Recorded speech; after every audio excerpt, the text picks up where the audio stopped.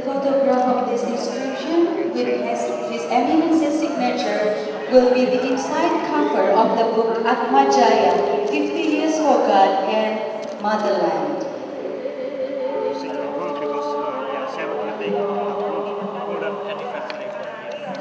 Thank you very much, Your Eminence. Ladies and gentlemen, we shall now head to the meeting hall. Pak Prapto, Pak Prapto. But along the way to the hall, allow me to give a brief description about uh, our beloved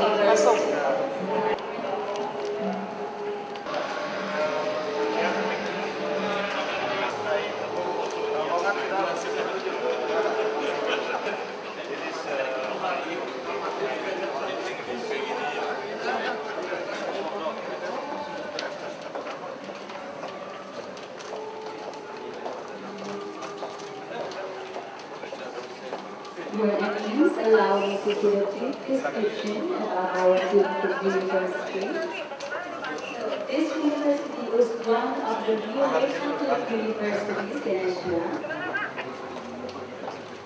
And the history of Atma Jaya Catholic University began in June 1953.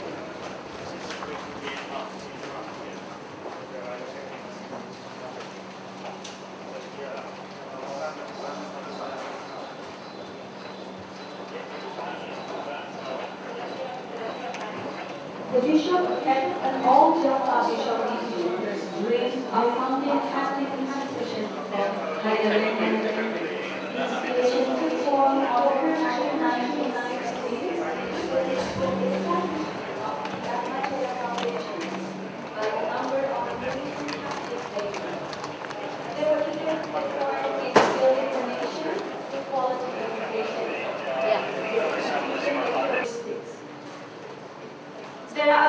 12,000 active students and 900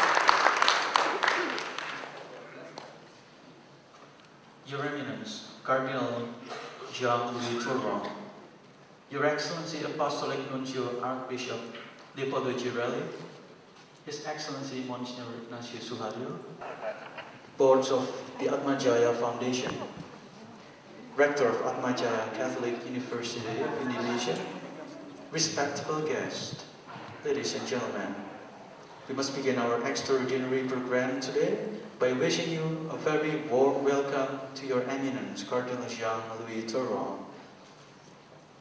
It is a great honor for us to host a lecture on the role of universities in interreligious dialogue by your eminence, Cardinal Jean-Louis Tauran.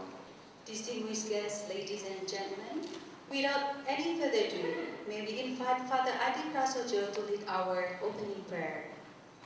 Your Eminence Jean-Louis Cardinal Tauran, Your Eminence Julius Cardinal Darmaatmadja, Your Excellency Monsignor Ignacio Suharyo, Your Excellency Monsignor Yohanes Pujasumarta, Your Excellency Monsignor Leopoldo Girelli, Apostolic Nuncio in Indonesia, the head of Atma Jaya Foundation, Director, the Vice Rector, professors and the students, let us rise and we start our seminar today with prayer.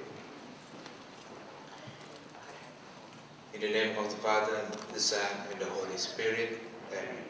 O Lord, we thank for your blessing and grace today, especially for attending His Eminence, Jean-Louis Cardinal Tauran among us. We are very grateful for His Eminence, Jean-Louis Cardinal Tauran, because he has given his precious time to be here with us.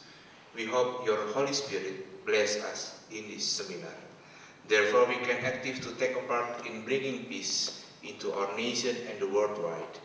We wish that everyone who attends this seminar inspired to respect the diversity among us and can make a unity to praise and worship in you. We ask this through Christ our Lord, now and forever. Amen. In the name of the Father, the Son, and the Holy Spirit. Amen.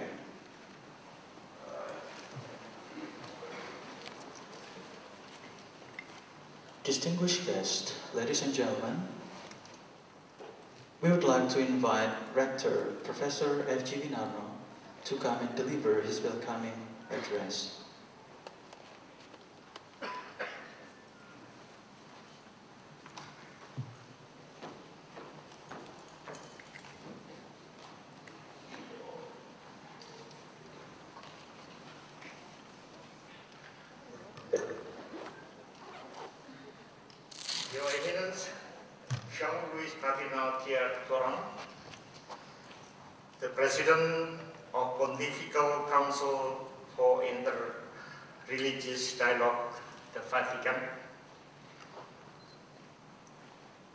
Excellency Cardinal Darmat Mojo, Your Excellency Archbishop Leopold Girelli, Apostolic Nun- Nuncio to Indonesia, Your Excellency Archbishop Ignatius Suhario, the co-adjutor Archbishop of Jakarta, His Excellency Ambassador Indonesia to Vatican, Monsignors, Fathers, Sisters, distinguished guests and friends, ladies and gentlemen. May I, on behalf of the University and the Foundation, wish you a very good morning and welcome to Atma Jaya Catholic University. First of all, please allow me to express my sincere gratitude and thanks to your eminence for your willingness to grant our humble request to kindly visit our campus to inspire and to share with us your vast experience of worldview dimension and inter interreligious cooperation and dialogues despite the very limited time you have and on the Muslim holiday of Idul Adha. I fail to hide my happiness having a great privilege and honor and pleasure to receive you personally and to welcome you. Your Eminence, please allow me once again to give you a bird's eye view about our university. When it was built and established by young Catholic scholars, which until today is still the only Catholic university in Jakarta. To date, the university has student body for over 12,000 and more than 50% of them are non-Catholics. Atma Jaya consists of two campuses. The first is here, and the other is the second campus that houses the Faculty of Medicine and Hospital. The third campus is in the planning state, which will be developed in the outskirts of Jakarta at Bumi Serpong Damai. One of the university's goals is to be a global local university, which means that this university should be internationally recognized as a good quality university and continue in preserving and developing the local wisdom, culture, and Indonesian nationalisms with deep appreciation of tolerance and impressive pluralisms. Bearing the name of Catholics in the country with the largest Muslim population in the world, the vision of impressive pluralisms and spirit of tolerance is indeed necessary. The name Atma Jaya means the spirit prevails. The university should reflect the embracement of the Holy Spirit and Pancasila, the Indonesian five principles upon which the Indonesian state is built.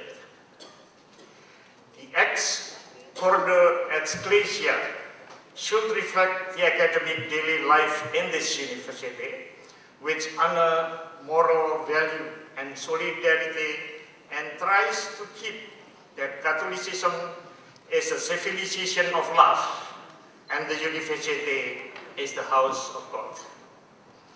We must try hard to foster a sense of solidarity among ourselves based on the mutual love and respect even though in daily practices it is often difficult to follow.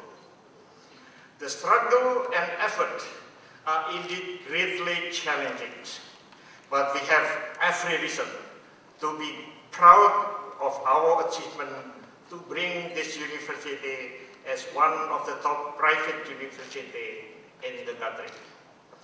Your Eminence, your visit to this campus at Atma Jaya University is indeed enormous valuable for us.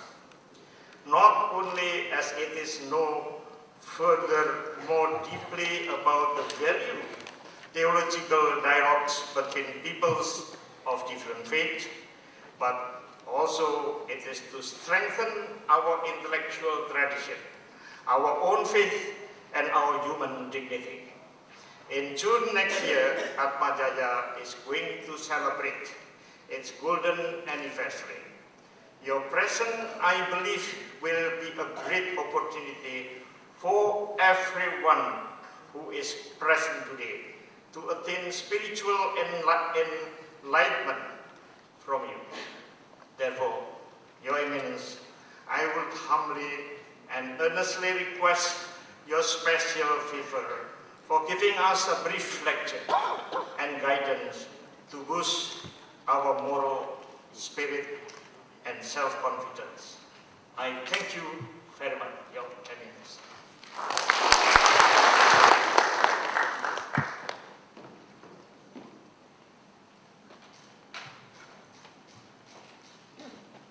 Distinguished guests, ladies and gentlemen, we are very much honored to have here with us His Eminent Jean-Louis Cardinal Pierre Tauran. At this rare and wonderful occasion, he, His Eminence is going to share with us his insight and expert knowledge on a crucial issue, the role of universities in interreligious dialogue. Ladies and gentlemen, please welcome His Eminence Jean-Louis Cardinal Pierre Tauran.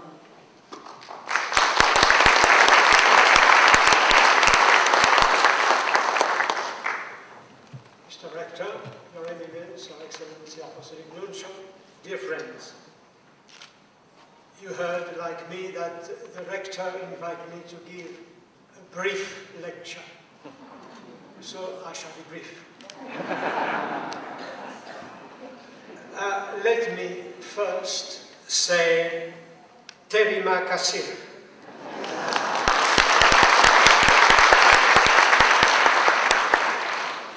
Terima kasih for your kind welcome here today. I'm very much impressed by the very beautiful and, uh, I should say, very clean and appealing premises of your university. I would like to express also my personal joy in being here for the first time as President of the Pontifical Council for Interreligious Dialogue to visit the Catholic University Atma Jaya and to be with you, Rector Professor Winarno, the professors and the students present and the friends of the university as well. I am very happy to be in this welcoming country, rich of its great variety of religions, ethnicities, traditions, languages and cultures.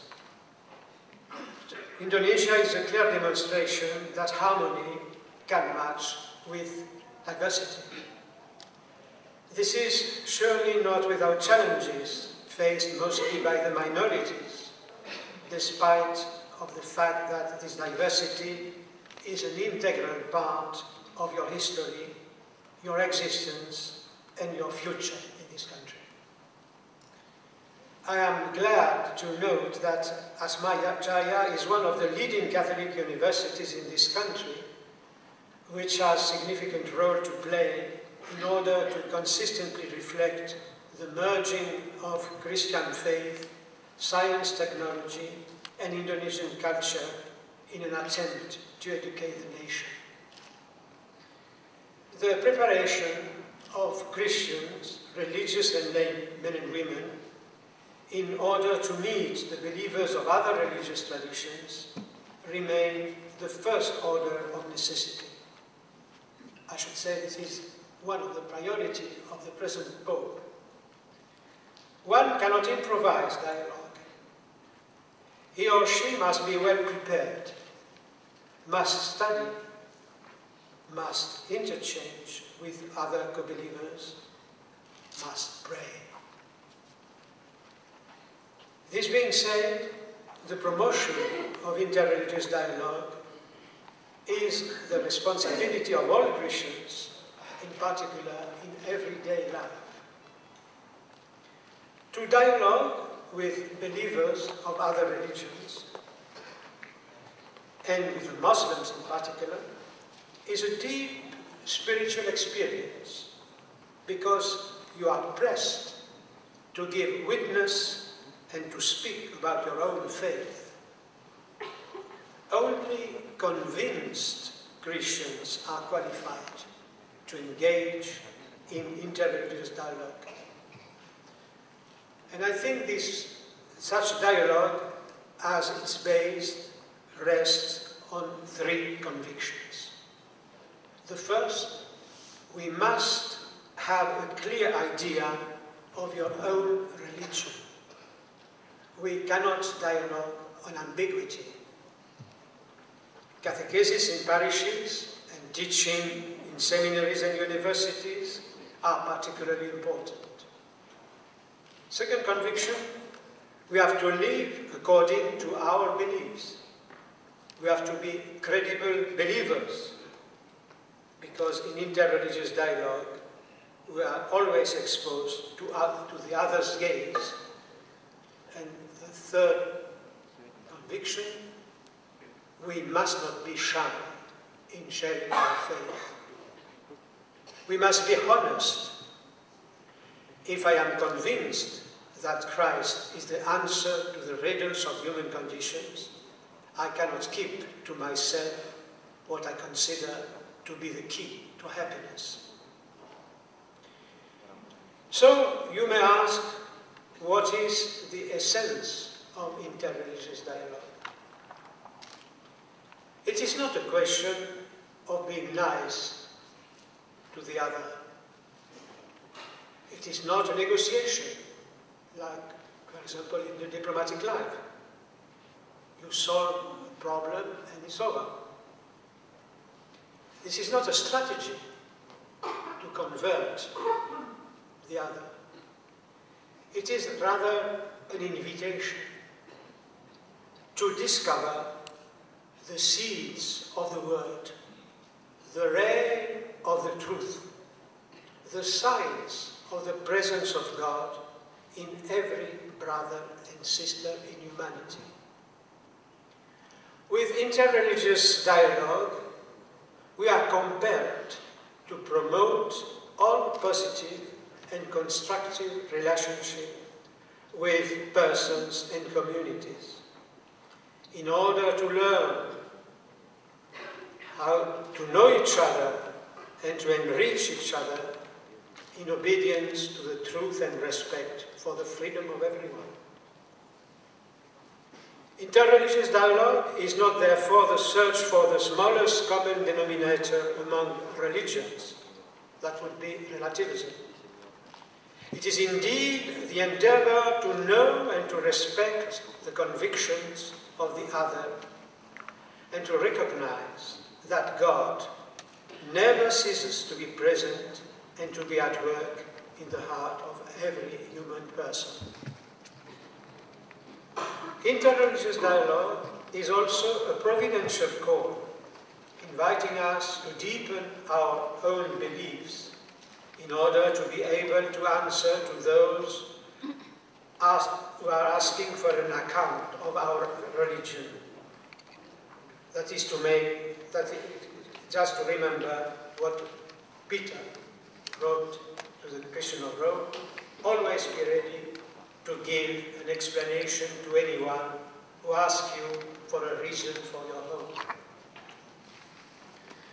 Dialogue claims also mutual knowledge among believers, leading to a greater respect and understanding. It is also an occasion to correct erroneous images which exist, to overcome stereotypes and misconceptions which distort true knowledge of the other. If problems arise between Christians and Muslims, very often they are due to ignorance. Very often we do not know the content of other religions, or we have never met believers of. We are reluctant to meet followers of other religions because sometimes we have no clear idea about our own religion.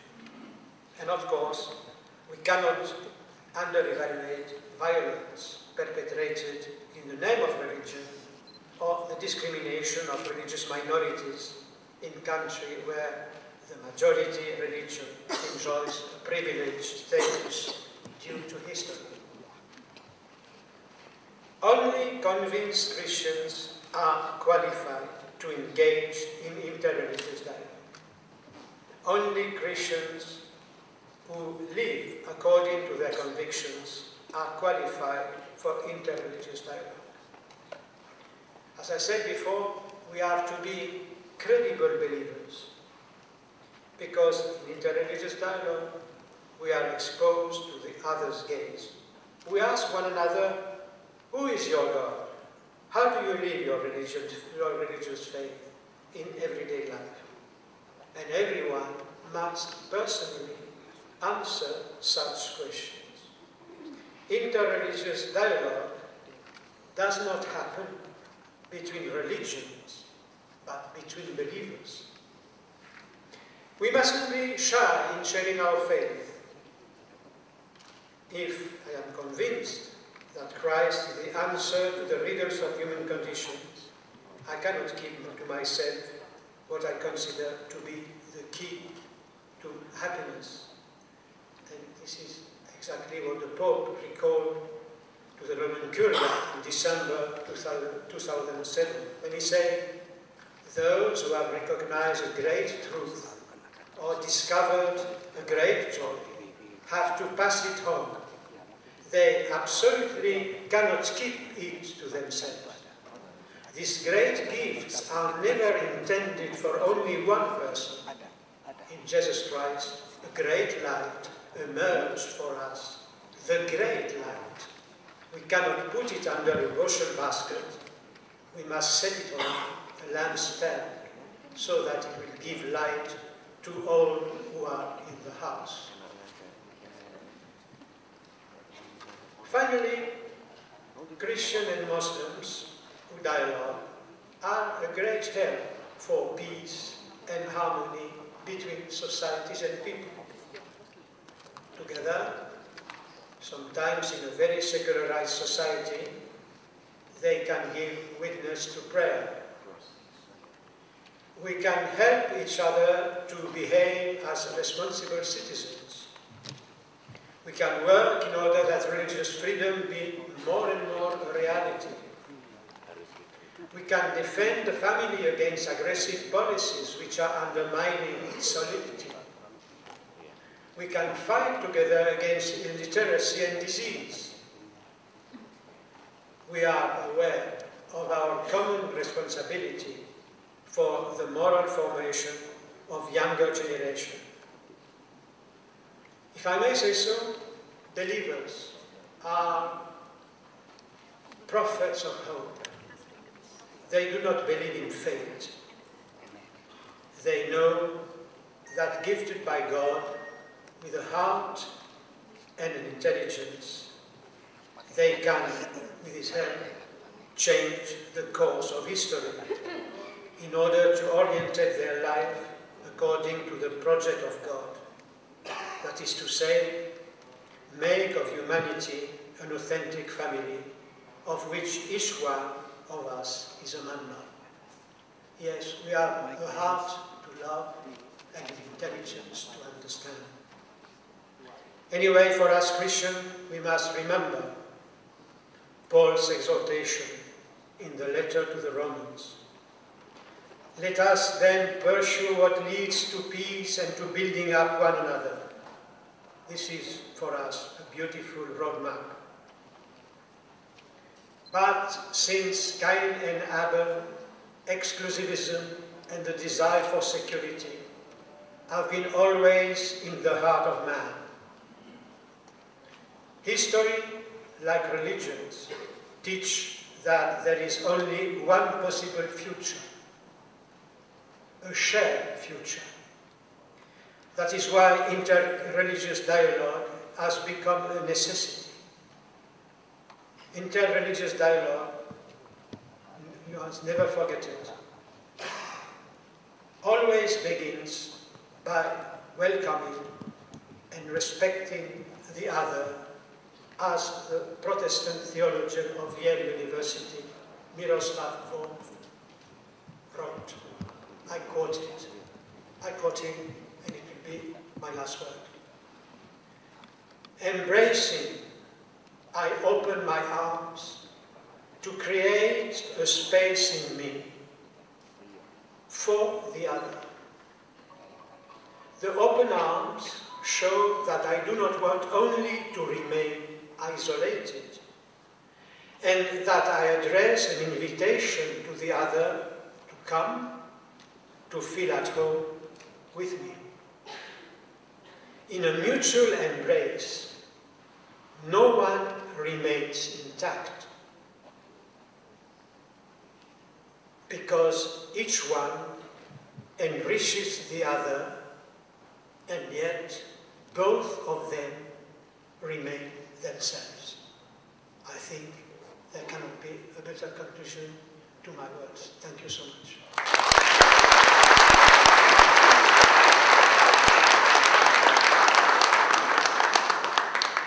Distinguished guests, ladies and gentlemen, we are now inviting um, three questions from the audience. Your Eminence, Jean-Louis Cardinal. My name is Eka Budianta. My school diploma says Christophorus Apollinaris Eka Budianta. And I'm proud to be a Catholic. Only a few months ago, however, during the political campaign of our general election, one of our political leaders had a little problem because his wife was suspected to be a Catholic.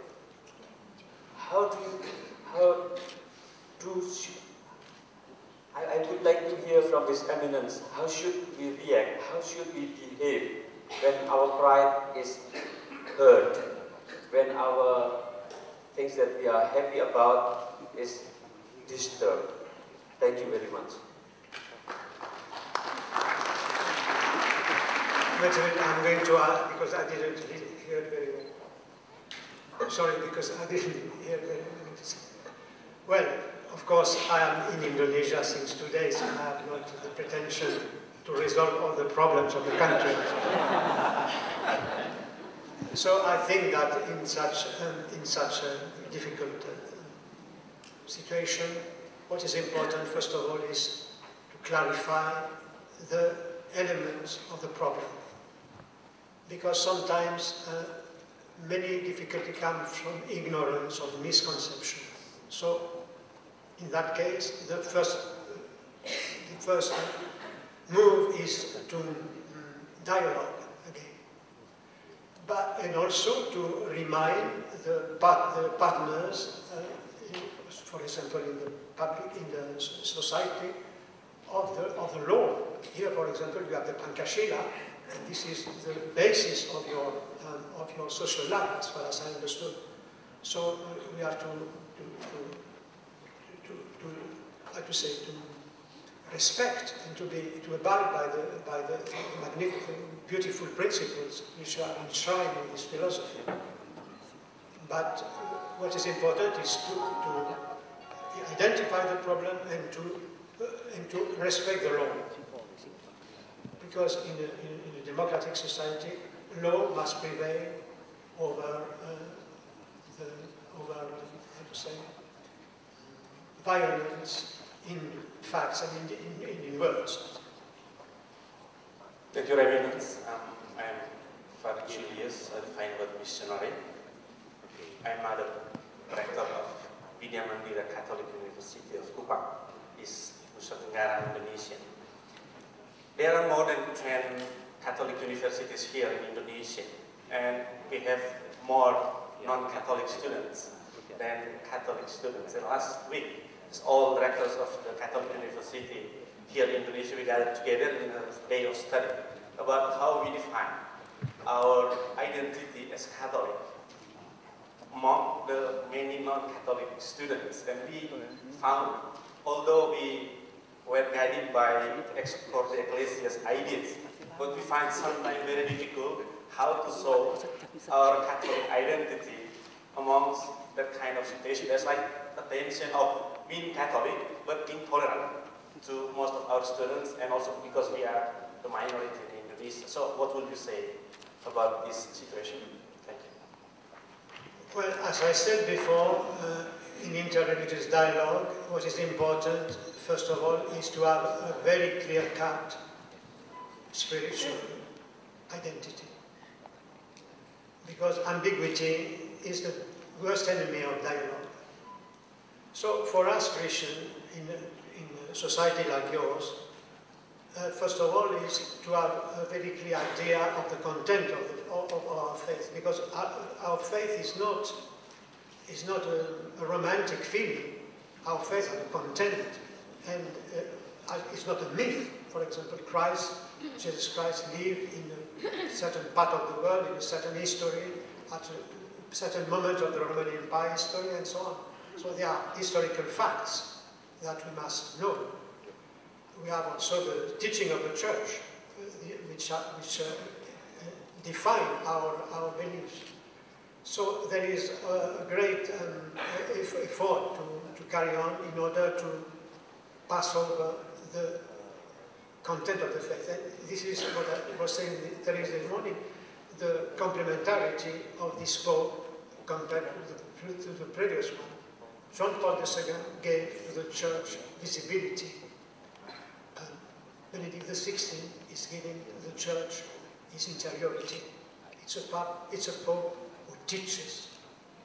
And I think this is a, a great service he can give to humanity. And I, I shall tell you a little fact which uh, happened to me uh, just uh, three months after the election of Benedict XVI. I was in the street of Rome, and a lady coming back from the market uh, stopped me and said, Father, this, this Pope is an extraordinary man because he said very profound things, but we understand everything. And I think she catch exactly the charisma of this Pope. It's a Pope who teaches. And to answer your question, uh, identity means we are aware of our faith and we, are, we must be proud of our faith. See, I should, I, I, I, should, I should welcome, for example, the celebration of Christian pride. Thank you.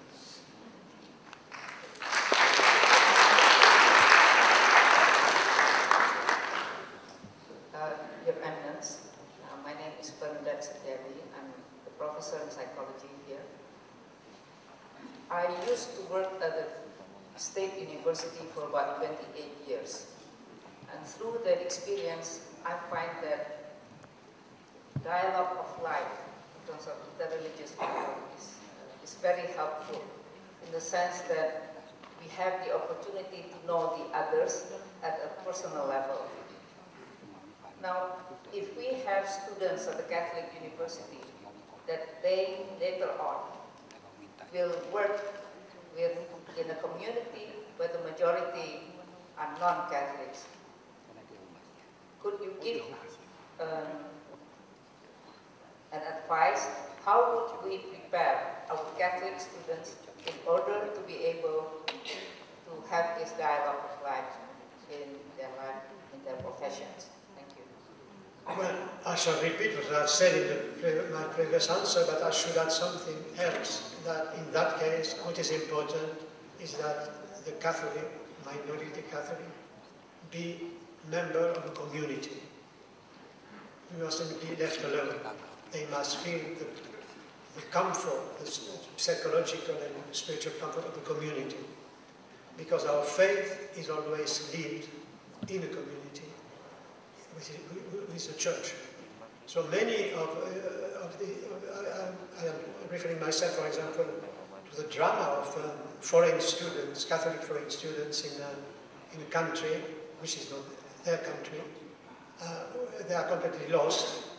If they are left alone, they cannot resist to the pressure.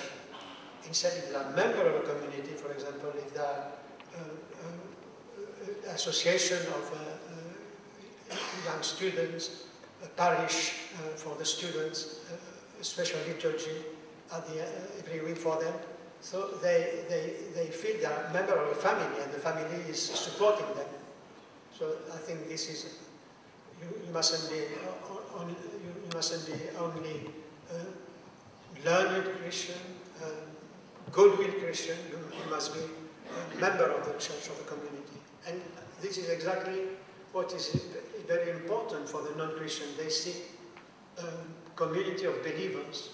See, I remember I have been for many, many years the negotiator uh, of the Holy See to the, to the Conference on Security and Cooperation in Europe, called the famous Helsinki process. And uh, since 1972 to 1981, practically we prepared the change of regime in Central and Eastern Europe, because all the philosophy was uh, practically shaped during these years, during this conference. And uh, we, we were in, uh, around the table in alphabetic order, so Saint-Siège in French was very near the Union Soviétique, the Soviet Republic. And uh, we had very good, very good contact with the Soviet uh, diplomats. And I remember one of them was very militant atheist, but was a very good friend of mine because we shared the same passion for Bach and Mozart. So through music, we became very good friends. And he told, he told me something which always struck me. He said, we can accept that uh, you, uh, like many others, have metaphysical preoccupation. He was referring to religious preoccupation. This is all right. We don't object. But what we cannot accept is a community of believers. The community, the people of believers, because this is disturbing the secular society. So it's very important that we appear not only as independent, individual believers, but believers who are worshipping together and we are witnessing their faith together in a society. Thank you, Your Eminence. My name is Katarina Sukanto. I'm the Vice Rector for Program Development and Collaboration. My question is a very practical one based on my own experience. Um, you just said that uh, we don't have to be shy sharing our own faith. And I'm I'm not shy sharing my faith. I'm proud to be a Catholic. So when someone asks me, what religion are you, I will, I will proudly say, I'm a Catholic. One day, I was asked by someone, what religion are you? I say, I'm a Catholic. So you believe in three gods then? I said, no, I believe in one God. And I was trying to explain to him the, uh, about the Trinity, but he didn't seem to understand my explanation.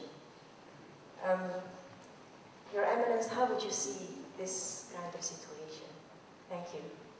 So, sorry, I, I didn't very understand. The question was, they ask you, uh, the, the, the, person who was talking with you. said... You believe in three gods. Ah, you mean the Trinity?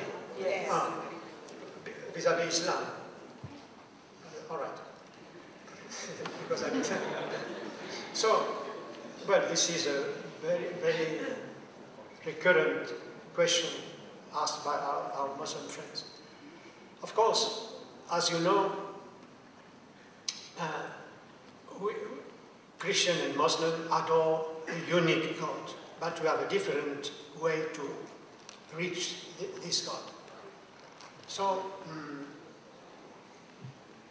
among the names of God in the Islamic theology, there is one word which is missing, which is Father. This is a great difference between uh, the God of the Muslim and the God of Christian. Our God is a Father. And uh, our um, perception of God, of course, is uh, helped by the revelation made by Jesus. We read in the Gospel of St. John, God, nobody saw him, but the Son who is next to him saw the, the, the Father and he told me, he told us who is God and who we are. So from Jesus we know that our God is a communion of love. The Father loves the Son, the Son loves the Father, and this uh, love is so intense that it becomes spirit, a, a kind of circulation of love, because the Holy Spirit. So we, what we say when God is, is Trinity, we say God is love. While our uh, uh, Muslim brother had the, uh, the, perception of God who is most essentially judge and omnipotent. And this is the difference of the, our attitude towards God.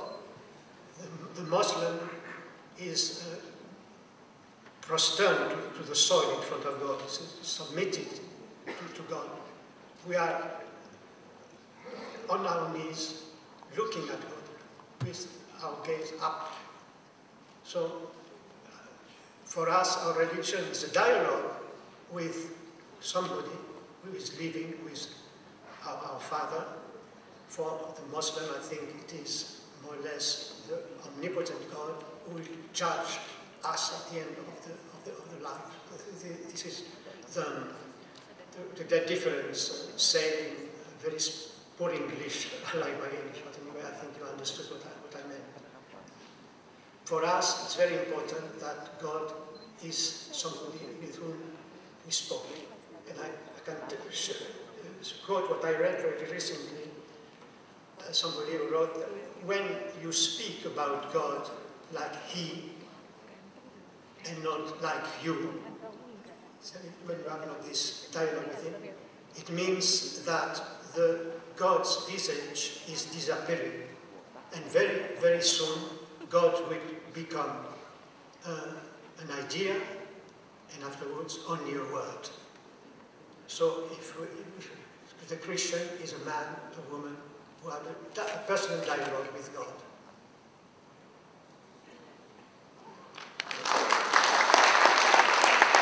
Thank you for all your questions. Dear Eminence, would you please stay on the stage? Now we would like to invite Rector Professor Winarno to come onto the stage to present our token of appreciation. Dear Eminence Cardinal Jean-Louis Tauran,